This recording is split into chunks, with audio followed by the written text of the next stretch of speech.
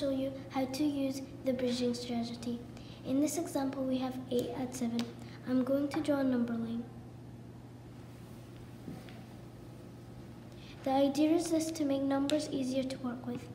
If I add 2 to 8, I get 10. If I add the rest, which is 5, I get 15. Now let's just check. 2 add 5 is 7, so I've added the right thing. 2 at 8 is 10, and 5 at 10 is 15. Now we will go to larger numbers.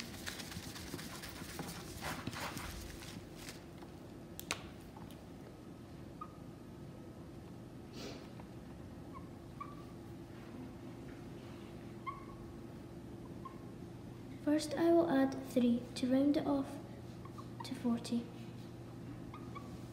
Then I will add 20 since there is two tens and 25. Now that I've added 23, I need two more to add 25, which is 62. Now let's just check. 20 add 2 add 3 is 25, so I've added the right thing. 3 add 37 is 40, 20 add 40 is 60, and 2 add 60 is 62.